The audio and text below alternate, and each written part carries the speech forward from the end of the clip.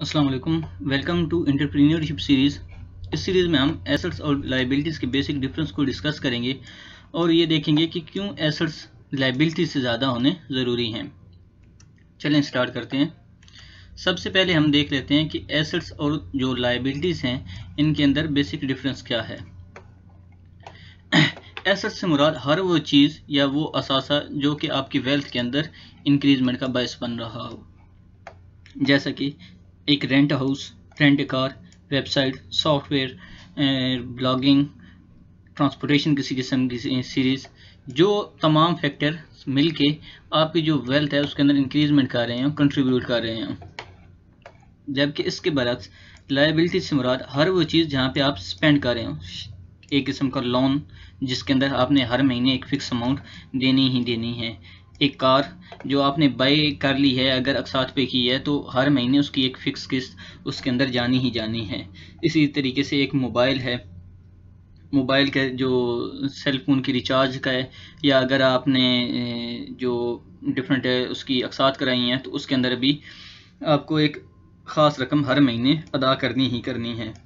इसके अलावा रोज़मर्रा की ज़िंदगी के मुताबिक यूटिलिटीज़ एंड टैक्सेस हर वो चीज़, इन शॉर्ट, कि जो चीज़ आपकी ज़िंदगी से या आपकी वेल्थ में डिक्रीजमेंट का बायस बन रही हो। तो एक हम एग्जांपल देख लेते हैं जिससे हमें आइडिया हो जाएगा कि एसेट्स क्यों ज़रूरी है और क्या एक ही चीज़, एक ही वक्त में एसेट्स और लाइबिलिटीज़ हो सकती हैं। तो ऐसा पॉसिबल है। फॉर एग्ज़ाम्पल एक कार है। अगर आप उस कार को पर्सनल यूज़ में ले रहे हैं तो वो लाइबिलिटीज़ के अंदर शामिल होगी। लेकिन अगर उसी कार को आप एसेट्स के अंदर शुमार भी एक लिहाज से कर सकते हैं। वो कैसे?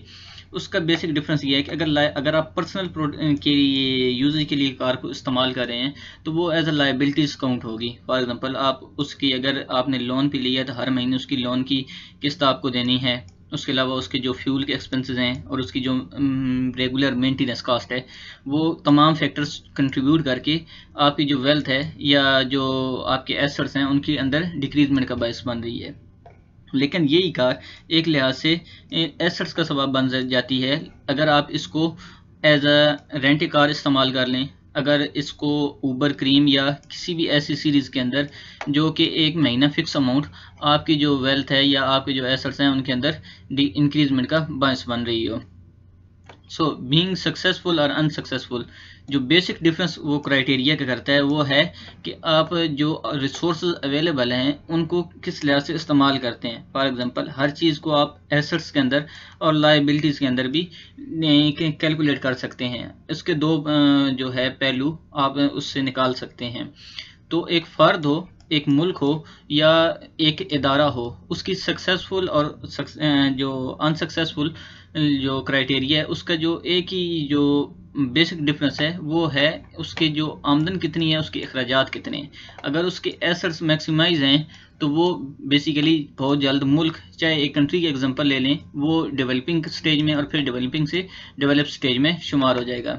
लेकिन अगर उस मुल्क की लाइबिलिटीज़ ज़्यादा हैं अखराज ज़्यादा हैं एसेट्स कम हैं तो वो बहुत जल्द जो वर्ल्ड बैंक आईएमएफ या दूसरे इदारे हैं, इनसे लोन लेके अपने ज़रूरियात को पूरी करने की कोशिश करेगा और वो कंटिन्यूसली फिर हर साल या हर महीना उसको एक फ़िक्स अमाउंट उन इदारों को देनी होगी जो कि एक लाइबिलिटीज़ के अंदर शुमार होगी।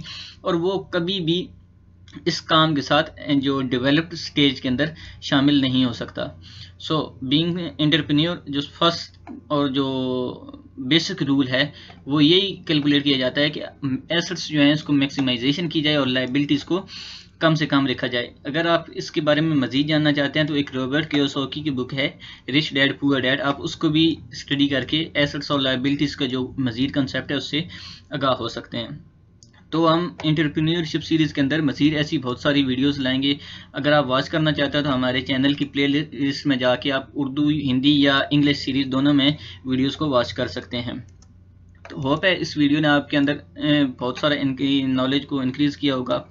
सब्सक्राइब करें, क्यों देगा आपके हर क्वेश्चन का जवाब? शेयर करें इस वीडियो को तमाम सोशल मीडिया प्लेटफॉर्म के ऊपर। Thank you